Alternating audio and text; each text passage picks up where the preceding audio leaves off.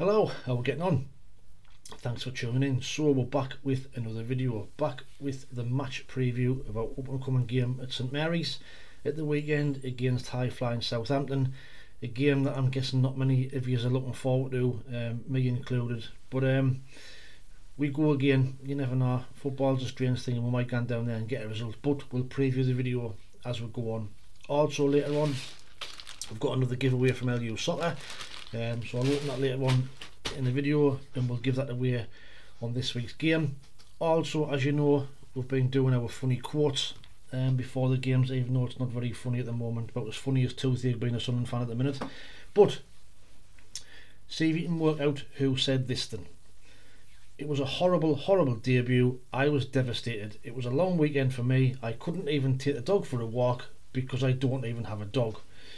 So, who said that? I'll let you know at the end of the video if uh, if who said that. But uh, right on to Southampton, and so on the back of, uh, of five defeats on the bounce, could this be a new six in a row? Um, you know, it's looking highly likely. Uh, you know, I was in a an old workplace of mine yesterday. Called up with some some very very good friends of mine, uh, Sean Smith and Mark Taggart. So if you're both watching, you know it was great catching up yesterday. Um, loved it. Um, like to do it more often. But Mark is he's just as passionate as me. Um, he's been supporting the club for 50 years. You know, he's had the same seat in the stadium since it opened. Um, travels all over the country, and he had some valid points. You know, when we caught up yesterday.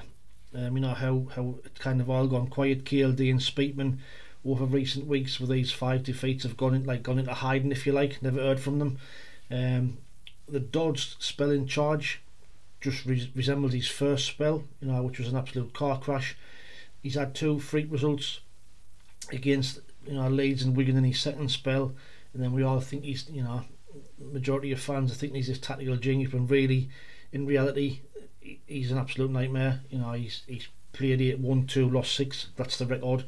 Um, and you know the football is is awful to watch. Uh, we also spoke about, you know, even the second half was better against Leicester, for a club like us, it's not good enough.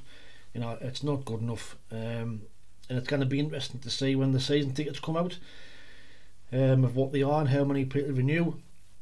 And he, we're kind of saying it'll take, you know, for every one person that renews to three or four people not to renew. People stay away. They get the message, you know, about how they're pissing people off and how they're shafting, you know, shafting fans. You know, all of our fans, like you said, you know, we're working class, hard working people pay good hard money to travel all over the country to watch them and we're getting out in return. We're not expecting them to spend millions of pounds. You know, Luton got promoted last year. I think they spent five million pound in total. You know, you don't need to spend a fortune. That's not what we're talking about. We're just on about buying some experienced players and let this model be a bit more flexible. I'm sick of banging on about it. The model isn't working. In principle, yes, but you need that blend of experience and you need to be flexible a bit to add some quality players to these young lads. Um, so I, you know, it was good to catch up, but you know, I could talk to him all day, but we just didn't have the time. Um, but like I said, you might have seen him in the in the comments um, as well in some of the videos, so watch out for that. You know, he talks a lot of sense. Um, he's very very good and passionate fan. So cheers for that, Mark. So Southampton, managed by Russell Martin. You know, play some good football, another good young up and come manager. Um, started off at MK Dons, went to Swansea, and then got the Southampton job um, where he's got a win percentage rate of nearly 60%. Now, they had a bit of a tough start of the season, if you remember. They were a little bit in and out, but they recently went on a 25 game unbeaten run, you know, which has put them firmly in the in the playoff stroke promotion picture. Um, they went from September last year to, to February this year in the 118 and drew 7 in that time. The same which rocketed them right to the league, playing some lovely football, um, scoring goals for fun. Um, have had a little bit of a bump recently. Uh, lost three games before they beat uh, beat Birmingham 4-3 at the weekend in a thriller. That's kind of got them back on track. Their game was postponed last night uh, due to a fire in some nearby industrial estate, So they have had a they've had a week off, so they're going to be fresh for the weekend, which is another you know bad sign for us. Um, But you know, I sometimes wonder who makes these kind of fixtures up. Um, there's no thought whatsoever goes into the into the supporters. Like I've just said, you know, supporters spending the hard-earned money travelling all over the country. So last weekend we had Norwich, a 500 mile round trip. Southampton this week, you know, it's a 630 mile round trip. That's that's, that's nearly 11. That's over 1100 miles in two away games. For you as fans who travel up and down the country, you know, fair play to all who've gone to the away games. Um, I don't know because I simply can't afford it, but you know, I, I know a lot of people who go to every game, you know, and the support and like I've just touched on before, that's not reciprocated by the by the players. Going to Norwich last week and watching that shite, no doubt Southampton at the weekend's going to be the same type of thing. Um, but you're still getting your thousands, so a fair play to every each and every one of you who travel to all these away games in short spaces of time to the far end of the country. You know, big big up you. Um, but Southampton, as you can see, they're currently in fourth place, eight points behind Ipswich with a game in hand. So they're fighting. They're going to be fighting for every game to get points to try and catch them and get into that top two. Um, so, like I said, it's going to be a massively, massively tough game down there at the weekend. Um, they've got some great players as well. Uh, Kyle Walker, Kyle Walker Peters, Premier League player. You know, Adam Armstrong, them type of players. Adam Armstrong has got 17 goals and 11 assists this season. Ché Adams has got 10 goals. Ryan Fraser, unknown from the Mags, has got 6 goals. So, you know, they've got some great players all over the place. They usually play a 4 3 3. Now, that front three, if theirs genuinely worries me against our back four, our depleted back four that it's going to be on Saturday. Um, especially how Leicester kind of got in behind us on Tuesday night so easy, especially in the first 15 20 minutes. We got absolutely tortured. Um, and they'll be looking to avenge that 5 0 defeat at the stadium you know earlier on this season. No doubt about that. They'll be going to try and put that right. Um, but on to us, like I've said, we're on the back of five defeats in a row. Uh, the last time we lost five in a row was between December 2015, uh, 5th of December 2015 and 30th of December 2015. But that run included games against Arsenal, Chelsea, Man City, and Liverpool, and not Huddersfield, Birmingham, Swansea, Norwich, and Leicester. You know, so it just shows you where we are. Um, and with the next kind of games against this lot, I, I can't really see where the next points are coming from. We've got Southampton who are going for promotion, like we've said. QPR have been transformed transformed under Cifuentes. Cardiff, our bogey side. Blackburn have improved under Eustace. Bristol City the same have improved under Liam Manning.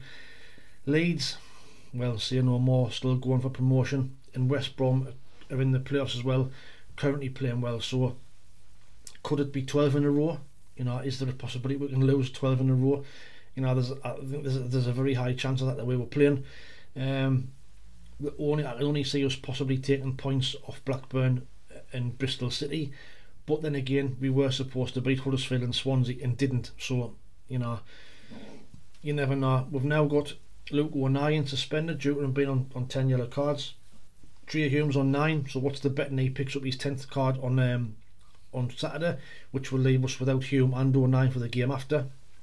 Um, so that decision to kind of ship Triantis off to Hibs looks an even more crazy decision, considering we knew that Alicia and uh, and certain were long term injuries. We've got knee cover now at the back. So the team for Saturday, I, I don't know really. It's it's I'm convinced this team now can't play with a striker. You know the games we've played with a centre forward we've been absolute dog shit. So I wouldn't be surprised if on Saturday we play without a one. Um, Emiya again was poor on Tuesday night. He, he, he, is lazy. He doesn't close down very well. You know, and the, the, the time and space that the Leicester defenders had at the back to bring the ball out without anybody closing them down. Now, I know it's not a one man press, but he's the focal point, and it wasn't happening. So, this is the kind of side I would pick on Saturday, or you know, I wouldn't be surprised if this this, this is the side I would pick. Um, you know, with with Hjelde looking more and more like Brendan Galloway with each game he plays. Do you me? Neither one he was he was Leeds' fourth choice left back, but this is so this is the team. So Patterson in goal, Trai Hume, Jenson Seelt into the centre mid, into the centre half in place of Luke O'Nien with Dan Ballard and Hjelde back four. Jobe Bellingham sitting just in front of the back four, alongside Ekwah and Dan Neil. The front three, well actually not a front three, I think it'll be three midfielders. I think it'll be Abdoullah Ba on the right. Adil Aouchiche done really, really well when he came on against Leicester. And Chris Rigg playing as a 10. You know, he's the one looks like he can, he can, he can make things happen. And for 16, I think he needs a run on the side now. You know, he, he's more than proved himself on, on Tuesday night that he's, he's good enough to be playing. So that's the side that will pro- I think will probably play without a centre forward. Um, but let us know what your thoughts are in the comments below of what kind of side you would pick. Um, it's a difficult one. I say the team at the minute more or less picks itself, um, with the exception of probably, you he has got the option of, of probably bringing Pembele in at right wing back and pushing Hume into the back three, which would kind of worry me even further based on what I've seen of Pembele. So, you know, let us know what team you would pick and uh, and, and how you think we'll will uh, will will set up against a very very attacking and very very good Southampton side. Score predictions. Well, you know, like I said, I fear for us Gandam there. I really, really do. Uh, I just think it's going to be another horror show. Um, and I, like I said, you know, I hate predicting us to get beat, but like I said, they'll be looking to avenge that that five 0 So unfortunately, I'm going to go for Southampton four, Sunderland nil. Might be a bit extreme, but I just feel the way we're playing, even though you know Tuesday we looked a little bit better second half.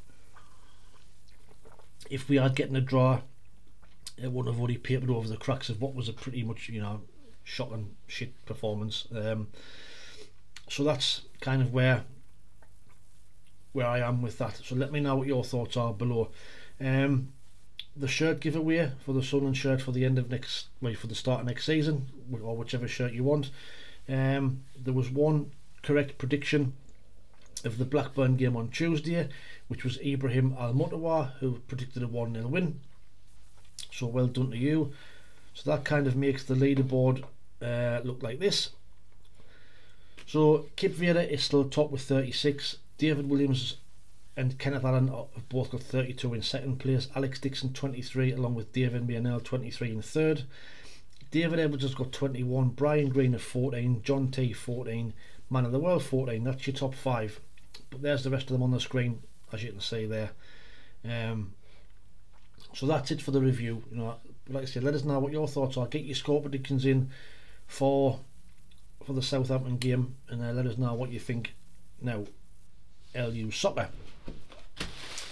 So you know the crack will get one of these every month, which I give away in a competition. So we'll see what's in in this in this month's uh, shirt.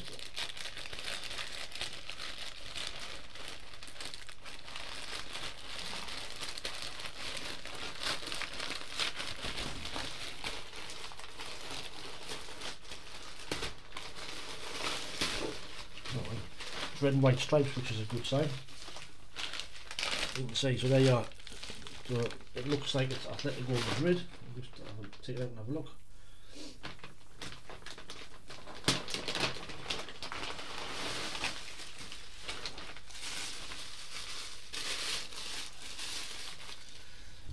So I, there it is. It's a, it's a nice Atletico Madrid shirt. Um, it's nice that actually. Um, you see it from the back. Riyadh Air. Um, you know, I've reviewed these before. These shirts are really, really good quality. You know, they're a fraction of the price of what you would pay in the um, in the you know the sports shops in the, in the town. Um, the badge, as you can see, is kind of it's stitched on. It's not one of these iron ones on like we've got these with the Sunderland badges. You know, the, the cheap and nasty shit. It's uh, it's very they're very very well put together. They're very good quality. The Nike badge again is all stitched in as well. Um, it's a large, so I, like that actually. Very very nice. So I uh, like so LU Soccer. As you know, or if you haven't seen these before, I've got a um, in the description below. There's a a discount code where you can get like up to like seven dollars off. Um, so you can get them shirts on the site for something like twenty odd dollars. It works out about twenty nine 20 or 29 quid they're about 70 quid to buy in the shops and they are you know really really good quality so have a look at the website follow the instructions below of how to get one set up an account it's all free put your discount code in and get a couple of these shirts ordered you know. It's uh, they're, they're well worth it. And they've got all sorts on there from international stuff to, to uh, Premier League to La Liga as you can see. There's retro stuff on there training gear. Um, the website's really really good so to keep these shirts coming um, we're looking to try and get a couple of orders in from some of the subscribers. So have a look on there and get yourselves an order and uh, and we'll keep them coming every month. Now to win that shirt I'm only going to do it for this video. So whoever gets the correct score for Southampton at the weekend will win the shirt. If there's a draw it will go in the hat um, and we'll draw your name out. If there's nobody wins it it'll roll over in the next week's game against QPR so there you go. Atletico Madrid shirt up for grabs. Um, get your score predictions in and uh, we'll see how you get on. Right so that's about it from me. Just to end on uh, the funniest quote competition or not not competition what am I talking about? The funniest quote. So who said this? It was a horrible horrible debut. I was devastated. It was a long weekend for me. I couldn't even take the dog for a walk because I don't even have a dog. Did you guess who it was? Well it was Andy Cole after his horrendous debut when we got beat 7-1 off Everton uh, so a debut to forget for Andy Cole, and I think the actual whole spell he was here was a was was a time to forget. Actually, um, it wasn't the best.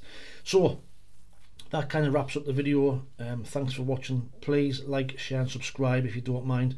We are trying to get to 3,500 by the end of the year. Well in the way. We've got 3,140, which is absolutely massive. Um, they're going up every week.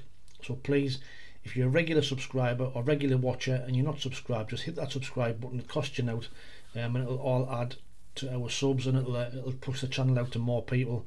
Um, if you enjoy it of course. If you don't then don't. But uh, hit that like button as well if you don't mind. We do try and get 200 likes on each video. Greatly appreciated. Watch out for the match review coming out uh, on Saturday night of Southampton like we said. Uh, hopefully hopefully we're getting a result but I'm not in much hope. But you never know. Typical Sunderland might go down there and surprise us all There'll be an away day guide in the description below with pubs and parking around St Mary's. Anybody travelling down there, have a safe, safe trip, have a fantastic journey, have a fantastic game, and have a safe trip back. Until the next time, thanks for watching, take it easy, stay safe, and as always, we'll speak soon. ta